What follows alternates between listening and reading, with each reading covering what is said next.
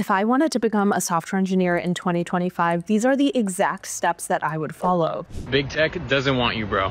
Companies pretty much stopped hiring entry level software engineers. I never thought this would happen. This chart shows the unemployment rates of 25 to 29 year olds with bachelor's degrees. Sadly, computer science is number one. I just got laid off. Let's face it, things are brutal, and because of that, you need to know how to actually face this new industry. So this video is going to outline three major steps that you can take to both gain the skills necessary to become a software engineer and also to land a job. I've even talked to experts in the field that have pretty recent insider information on what companies are actually looking for. A portion of this video has been sponsored by HubSpot.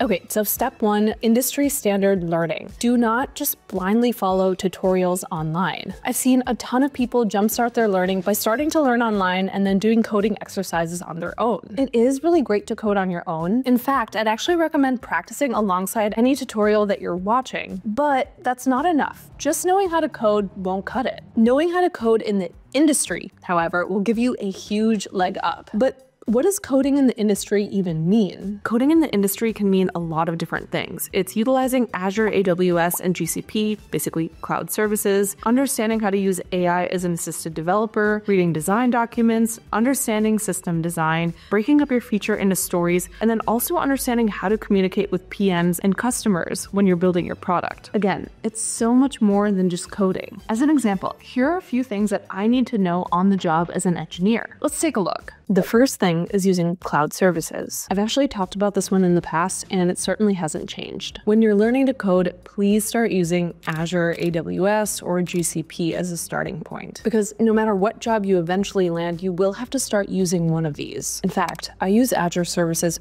every single day on the job. It's a pretty vital part of what I do as an engineer. Everything is virtual nowadays. Databases, storage accounts, networking. There's no longer a separation of network engineers, DevOps roles, and full stack engineers. Software engineers do everything now. That's the difference. And now it's easier than ever to create resources and manage them. You just really have a click of the button to do everything. So infrastructure is a must and bonus points if you can set up deployment pipelines because that's also something you'll be using, the CI/CD process us. The next one is system design. Usually this is reserved for senior engineers, but nowadays junior engineers are expected to know system design. System design is understanding part of what I mentioned before, which are the resources that the API will interact with in the cloud, but it's also understanding the system as a whole or from a bird's eye view. For example, this is what a system design diagram might look like. You're gonna have to know things like how many requests does this application get per day, how many reads, writes, or updates does the, each request make, how available does the app need to be, what does security look like? Should we rely more on horizontal or vertical scaling? Do we need to cache any values? And if you don't know what any of this means, don't worry. I've linked some resources below. So next up is communication. The soft skills always get brushed to the side, but arguably they're more important than those technical skills. You really need to practice communicating with other people that are working on your project. Even something like giving bad news to your manager about not being able to meet a deadline is a really important skill to have because it sets expectations and it also allows other people to understand what to do moving forward. They're not just waiting around for you to deliver something when you've told them that the deadline is moved. This keeps things running smoothly and your manager will thank you for that later. And it doesn't matter if it's not your fault. If an external team can't deliver something on time to you, which delays your own work, you can't just go blaming other people. You have to just let your manager know ASAP that this blocker has occurred. This is a super vital skill to have and a lot of programmers don't know how to take that next step to become a software engineer by having really solid communication skills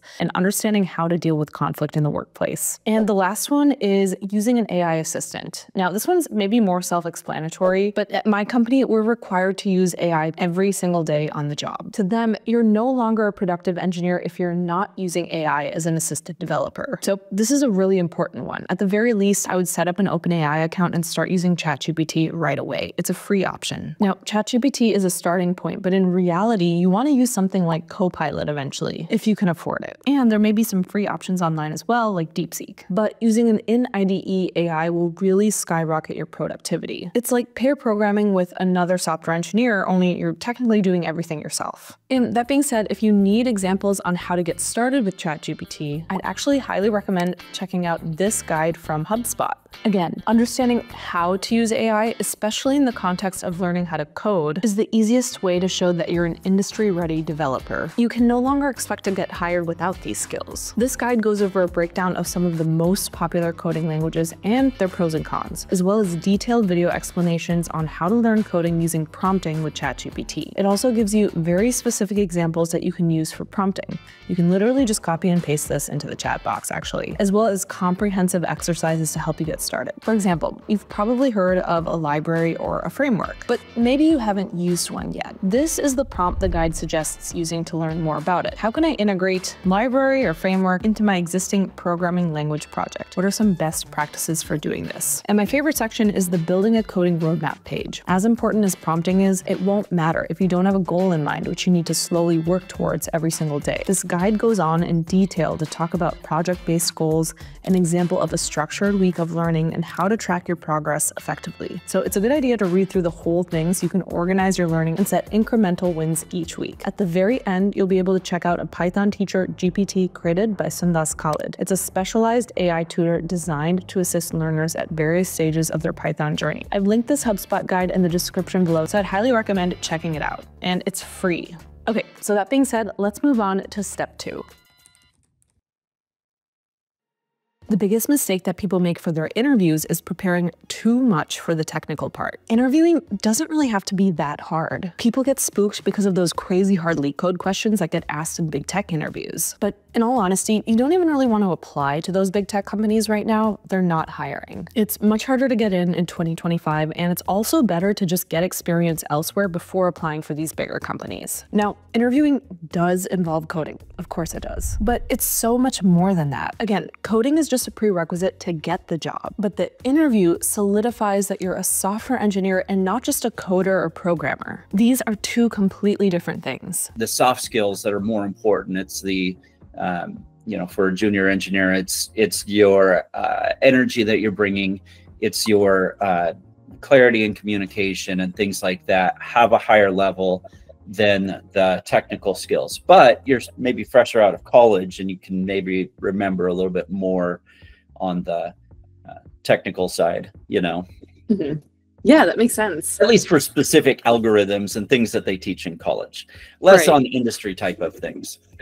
In the interview, they want you to problem solve through the question. Do not memorize LeetCode problems. That's actually the first red flag that the interviewer will notice. And I've noticed it too when I've interviewed people. They want to know how to assess your skills while dealing with pressure, not knowing the answer and still working through the problem step by step, and also being able to communicate honestly when you're blocked. Here's a pro tip. Treat the interview like a pair programming session. Only you're leading that pair programming session. And the interviewer is more like a customer or a PM. You can ask them questions like what out outputs are you looking for? How many requests and responses can I expect? And then use them as a sounding board to bounce questions and ideas back and forth with. Spend 15 minutes talking through the problem, ask questions, clarify your thought process, then spend 15 minutes writing out pseudocode or just like hashing out your ideas step by step. Just give your ideas more clarity and write them down. The last 10 minutes are when you actually code. Yes, you heard that right. If you plan things well, that's really all you'll need. The coding part should be the easy part. And if not, you're not doing things correctly. So the most important way to prepare and be confident in this sort of process is to just do a ton of mock interviews. That's really the only way. Even if you do hundreds of LeetCode questions, it won't prepare you for the collaborative nature of the interview. And don't forget to practice on a non-compilable Google Doc with a friend, because in the real interview, you may not have an IDE that you can use to compile your code. In fact, I actually did this with my friend as well when I was studying to get into Microsoft. You also want to have a solid understanding of all the things that I mentioned in part one for the interviews. The coding, system design, AI-assisted development, cloud services, etc. Really have a grasp of these things because they will ask you about it in the interview if you've mentioned it on your resume. Do not, and I repeat, do not apply for the job two days later, three days later, or even a week after the job has been posted. Apply the day of, or consider that the role's already been taken. Apply early um, on requisitions. So that's very helpful. Um, I would set up alerts on the Microsoft Careers page for any specific roles or technology that you have experience in. Set up alerts daily so that you as soon as those roles open, you can apply because with our, our applicant volumes are, are high. Okay. Uh, and we only keep roles open for a certain amount of time. You know, it could be depending on the role. If we're expecting to get 2,000 applicants, we may only keep it open, scheduled open for seven days. So if you set them up for weekly, you may not catch that or, or something else.